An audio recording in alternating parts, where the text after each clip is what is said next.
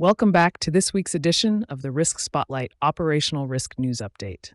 My name is Emily Jones, and today I'll be bringing you essential updates and insights from the world of operational risk, drawn from the past week.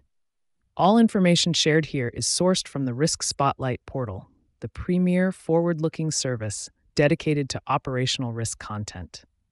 Let's get started. The first update is about the recent developments surrounding the Mpox virus, which has sparked significant concern globally. The World Health Organization, WHO, has declared the Mpox outbreak a public health emergency of international concern, primarily due to the alarming spread of a new clade I variant in the Democratic Republic of the Congo, DRC, and other African countries. This variant is associated with a higher mortality rate and has been detected in regions that have never reported Mpox cases before, such as Burundi, Kenya, Rwanda, and Uganda.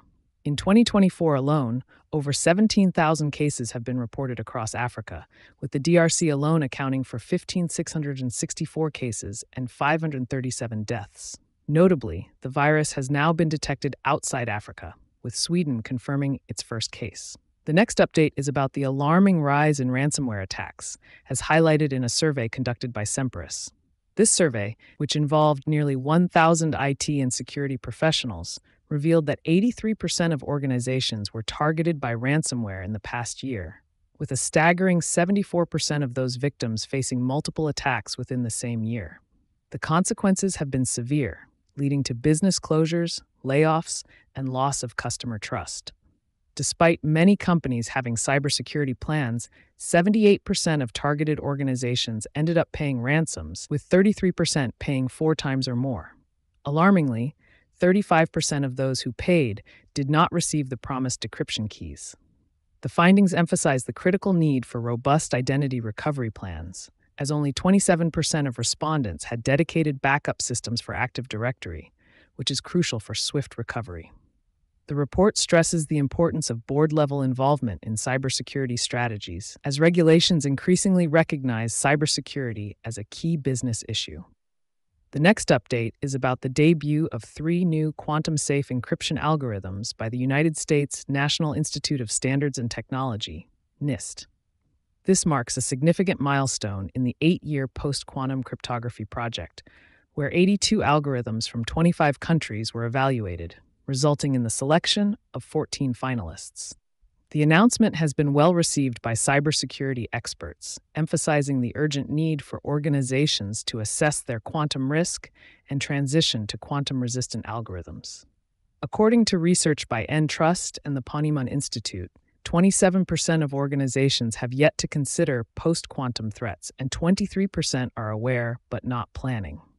This is concerning as quantum computers capable of breaking standard encryption are approaching reality. The release of these algorithms is a proactive step towards safeguarding data against future quantum threats, encouraging organizations to prepare their security infrastructure accordingly. The next update is about the challenges in AI adoption highlighted by IBM's AI Readiness Barometer study.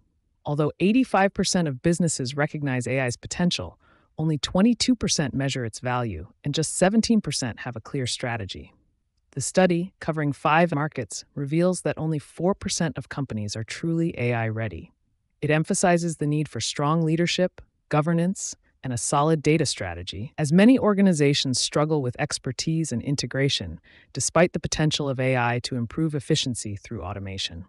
The next update is about the Dutch Data Protection Authority, DPA issuing guidance on the risks of using AI powered chatbots like ChatGPT, particularly regarding personal data breaches. Employees have entered sensitive data into these chatbots, sometimes against company policy, posing significant GDPR risks. The DPA emphasizes the need for clear agreements between employers and employees on what data can be entered and suggests including contractual provisions with chatbot providers to prevent unauthorized data storage and use.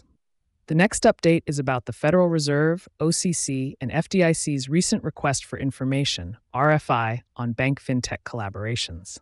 This RFI, published in the Federal Register, invites public input on 41 questions related to these partnerships, with comments due by September 30th, 2024.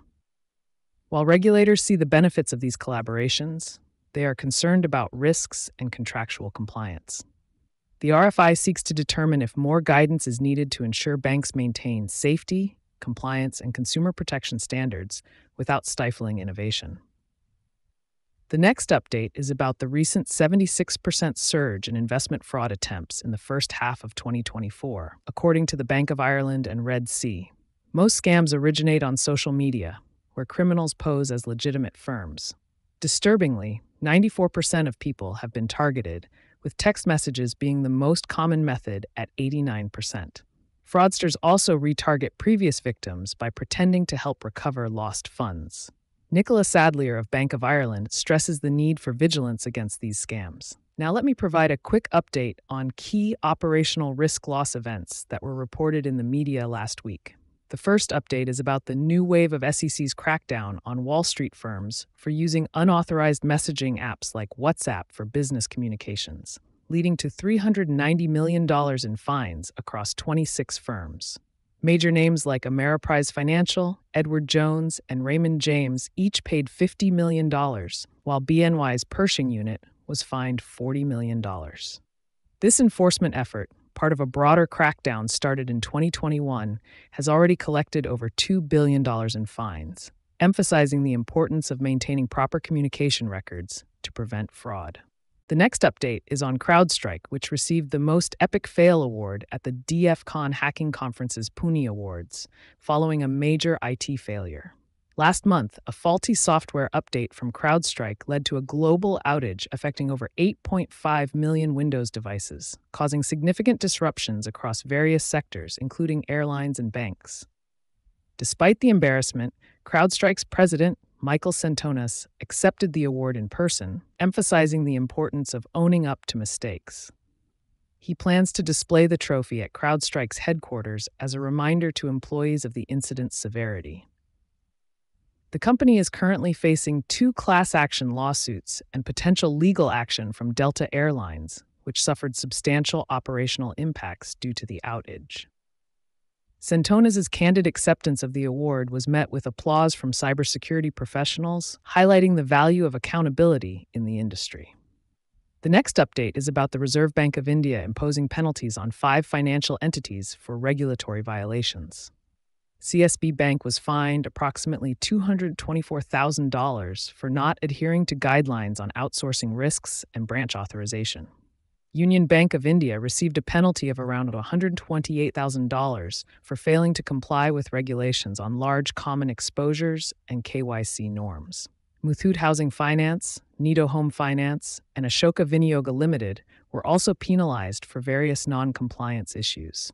The last update is about raids conducted by the Enforcement Directorate in India on 14 premises associated with Corporate Power Limited and its promoters in connection with a massive bank loan fraud of approximately $480.7 million. The ED's investigation, based on a Central Bureau of Investigation FIR, revealed that the company allegedly manipulated project cost statements to secure loans which were then diverted, resulting in a loss of about 1.354 billion including interest to the Union Bank of India. And there you have it a whirlwind tour of last week's operational risk landscape. If you want to read more about the topics I have covered and review additional content on emerging operational risk topics, then please log in to the Risk Spotlight portal if you are a subscriber or go to riskspotlight.com to sign up for a free trial. Thanks for tuning in, and until next time, stay safe and keep those risks in check.